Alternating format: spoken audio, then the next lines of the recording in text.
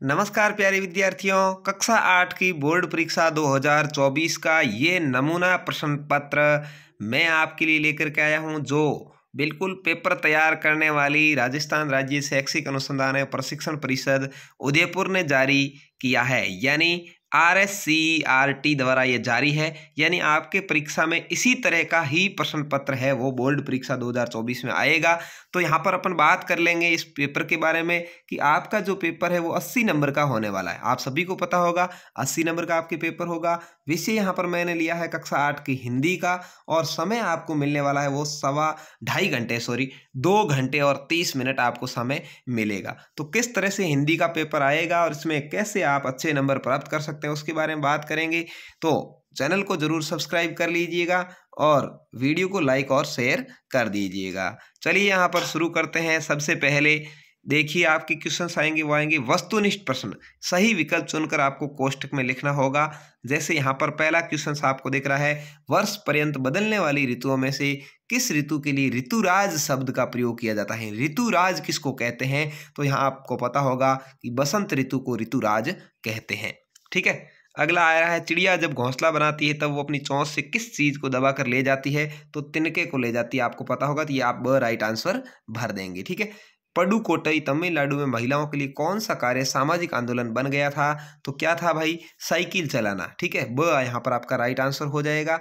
इस तरह का ही पेपर आपके बोर्ड परीक्षा में आने वाला है। मोहन चूड़ियाँ बेचने का कार्य करता है, मोहन का पैसा कहलाएगा। क्या है भाई, लोहारी है, सोनारी है, सुधारी या मणिहारी है? तो चूड़ियाँ बेचने वाले को मणिहारी कहते हैं। द आपका राइट आंसर हो जाएगा। हिंदी सिनेमा में आलम आरा फ़िल्म अपना एक महत्वपूर्ण स्थान रखती है, क्योंकि ये पहली बोलती फ़िल्म है, ये राजनीति पर आधारित फ़िल्म है, ये इतिहास को बदलने वाली फ़िल्म है, ये बिना पटकथा की फ़िल्म है। तो यहाँ पर आलम आरा फ़िल्म के बारे में आपको पता होगा कि कौन सा इसका सही आंसर है, वो आपको लिख देना है। कृष्ण की चोटी बढ़ाने हेतु मैया उन्हें क्या क्या खिलाती थी? माखन, दूध, रोटी, उपयोग सभी। तो यहाँ पर उपयोग सभी हो जाएगा, डी आंसर आ जाएगा। योगेश ने गाय की रक्षा करने तो अपने प्राणों की बाजी लगा दी। रेखांकित मुहावरे का क्या अर्थ है? प्राणों की बाजी लगाना। यानी इस मुहावरे का अर्थ क्या है भाई? भाग जाना, साहसपूर्ण कार्य करना, अत्यधिक प्रिय होना, आकर्षित करना, साहसपूर्ण कार्य करना। तो स आपका यहाँ राइट आंसर हो जाएगा। राम ने टोपी पहनी, रेखांकित शब्द का बहुवचन है। टोपी का बहुवचन क्या हो जाएगा भाई?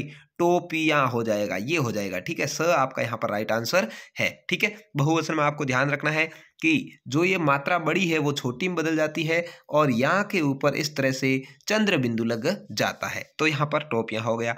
अब आपके इसके बाद में आएँगे? अति लघुत्रात्मक प्रश्न।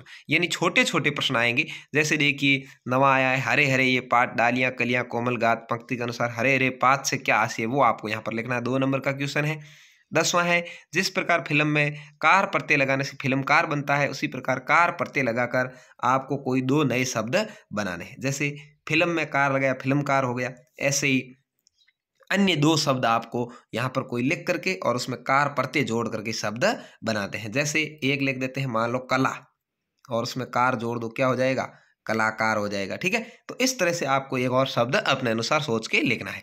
अगला है, दिए गए व्यक्तिवाचक संज्ञा शब्द का प्रयोग, वाक्य में प्रयोग यहाँ पर करना है। जयपुर तो जैसे राम जयपुर जाएगा, इस तरह से लिख दीजिए। गोविंद गोविंद खाना खाता है। गोविंद खेलता है, ये इस तरह से लिखोगे तो वाक्य प्रयोग हो जाएगा, ठीक है? साइकिल चलाने कोई दो लाभ लिखने हैं। साइकिल चलाने से पैर की हड्डियाँ वगैरह है, वो मज़बूत होती है और मांसपेशियाँ मज़बूत होती है, ठीक है? इस तरह से आप लिख सकते हैं। तेरह है, दिन प्रति हानि होती, गोरस की, गोरस शब्द का यहाँ पर जो अर्थ है, वो आपको लिखना है। गवरैया को टोपी बनवानी थी, लेकिन वो किस किस के पास गई थी, आपको पूरा पता होगा किस किस के पास गई। सबसे पहले वो ऐसे ऐसे चार पाँच जनों के पास में गई, वो पूरी कहानी यहाँ पर आपको दो तीन लाइन में लिख देनी है, ठीक है? उसके बाद में अब आपके आएँगे चार चार नंबर वाले सवाल, लघुत्रात्मक प्रश्न जिनको कहेंगे। सड़क पर चलने हेतु यातायात संकेतों के चिन्ह बनाकर उसके अर्थ लिखने कोई चार चार नंबर का क्वेश्चन है, चिन्ह बनाने और साथ में लिखने ठीक है ना? सड़क पर चलते समय कौन कौन सी लाल, पीली वाली बत्ती बना दीजिए और लिख दीजिए कि लाल बत्ती होने पर रुकना चाहिए, हरी बत्ती होने पर चलना चाहिए, ठीक है? इस तरह से अन्य चार आपको लिखने दीवानों की मस्ती पाठ के आधार पर बताएँ कि हमें संसार से क्या लेना देना है, उसके बारे में आपको तीन चार लाइन में उत्तर लिखना है, ठीक है?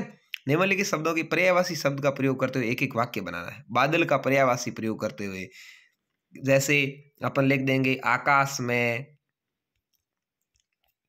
मेघ। गरज रहे थे। तो मेघ किसका पर्यावासी हो गया? बादल का हो गया। तो इस तरह से वाक्य आपको लिखना है। कमल का आँख का, पेड़ का, इसका भी आपको वाक्य में प्रयोग करना है। कबीर घास की निंदा करने से क्यों मना करते हैं? पठित दोहे के आधार पर आपको लिखना है। है? तो आपको वो दुआ याद होगा। कबीर दास जी वाला जब कहते हैं कि जब तिनका आँख में गिर जाता है ना उड़ करके, तब पता चलता है कितना दर्द होता है। तो कबीरा घास न नींदिए, जब हवा का झोंका आए, इस तरह से वो दुआ है ना, उसके आधार पर यहाँ पर आपको तीन चार लाइन लिखनी। बच्चों के उदम मचाने पर घर की बहुत दुर्दशा हुई। काम चोर कहानी के आधार पर आपको यहाँ पर दो चार बातें समर्थन में लिखनी। इस भेद को मेरे सिवाय मेरा ईश्वरी जानता है, आप उसी से पूछ लीजिए, मैं नहीं बताऊँगा। बिलवासी के समर्थन में यहाँ पर आपको चार लाइनें लिखनी है, ठीक है? स्वच्छ भारत, स्वस्थ भारत पर चार पंक्तियाँ लिखनी है। स्वच्छ भारत, स्वस्थ भारत के अंतर्गत घर घर शौचालय बनाए जा रहे हैं। साफ़ सफ़ाई का इस तरह से आपको चार लाइन यहाँ पर लिखनी है। उसके बाद में आपके आ जाएगा निबंधात्मक क्वेश्चंस, यानी बड़े क्वेश्चंस हैं, जिनमें आठ आठ नंबर की क्वेश्चन देखिए, निम्नलिखित पद्यांश की सप्रसंग व्याख्या करनी आपको ये पाठ कौन से में से लिया गया, लेखक का नाम क्या है, ये प्रसंग और व्याख्या इसकी लिखनी अथवा इसकी लिखनी दोनों में से किसी एक की आपको प्रसंग और व्याख्या दोनों ही करनी उसके बाद में अगला है, निम्नलिखित, गद्यांश को ध्यानपूर्वक पढ़ना है और उत्तर देने। यहाँ पर गद्यांश को पढ़िए, देखिए, ये पिंड तेज़ी, सूर्य की ओर बढ़ रहा था ज्यो ज्यो पास आता जाता था, इसको पढ़ेंगे, उसके बाद सवालों को उत्तर देंगे, पिंड किसकी ओर तेज़ी से बढ़ रहा था? ये पिंड तेज़ी से सूर्य की ओर बढ़ रहा था तो सूर्य की ओर उत्तर लिख देंगे, ठीक है? यहाँ पर आपको मिल जाएगा नंबर। हमारी पृथ्वी प्रारंभ में कैसी थी? यहाँ पर लिखा है, देखिए, ये आकर्षक शक्ति, सूर्य कहाँ पर उठाया, ऐसा ज्ञात हुआ ग्रहराज वैसा न हुआ। और सूर्य से इतना बारीक खींचा न टुकड़म से टुकड़ा हमारा पृथ्वी है, ये प्रारंभ में एक बड़ा आग का गोला थी, ठीक है?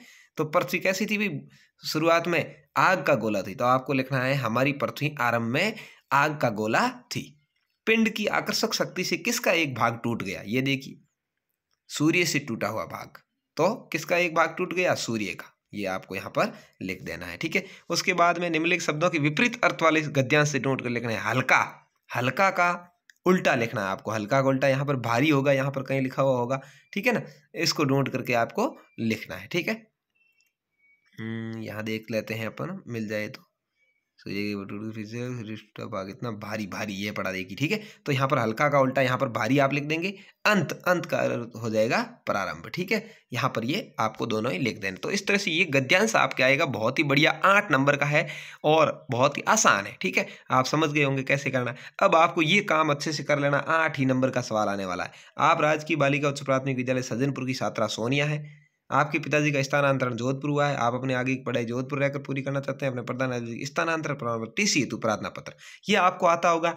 टीसी के लिए, छुट्टी के लिए प्रार्थना पत्र आप सीख लीजिए, ठीक है? या आप अथवा में ये भी कर सकते हैं कि दुकानदार और ग्राहक के बीच संवाद लिखना, लेकिन इससे बढ़िया आपके ये रहेगा। तो आप इसको करिएगा, यहाँ पर आठ नंबर आपको मिल जाएँगे। उसके बाद में आपके आता है निम्नलिखित किसी एक विषय पर निबंध। ये तीनों ही पीछे वाले जो सवाल हैं, चारों ही आठ आठ नंबर वाले। गद्यांश वाला और ये जो भावार्थ वाला और ये जो आपके एप्लीकेशन वाला और ये निबंध वाला, ये बहुत ही महत्वपूर्ण है भाई। आठ आठ नंबर के बहुत बड़े बड़े इनको आप अच्छे से तैयार कर लीजिए। यहाँ चारों को तैयार कर लीजिए, कोई एक आपको बोर्ड परीक्षा 2024 मिल जाएगा और यहाँ कोई एक ही आपको लिखना है, ठीक है? तो इस तरह से आपके ये हो जाएगा कक्षा आठ का, हिंदी विषय का पेपर और अन्य जो भी पेपर्स है, मैं उसकी पीडीएफ है, वो टेलीग्राम पे डाल रहा हूँ। आप हमारा टेलीग्राम ग्रुप ज्वाइन कर सकते हैं, जिसका लिंक मैं डिस्क्रिप्शन में दे दूँगा, जिस पर जाकर के आप अपना टेलीग्राम ग्रुप ज्वाइन करके वहाँ से पीडीएफ प्राप्त कर सकते हैं। तो वीडियो अच्छा लगा, कमेंट करके ज़रूर बताएँ और एग्ज़ाम से पहले आपको कम से कम मैं प्रत्येक सब्जेक्ट के पाँच पाँच मॉडल प्रश्न पत्र देने वाला हूँ, जो आपके लिए बहुत ही अच्छे रहने वाले हैं। तो ज़रूर चैनल को सब्सक्राइब करें, धन्यवाद।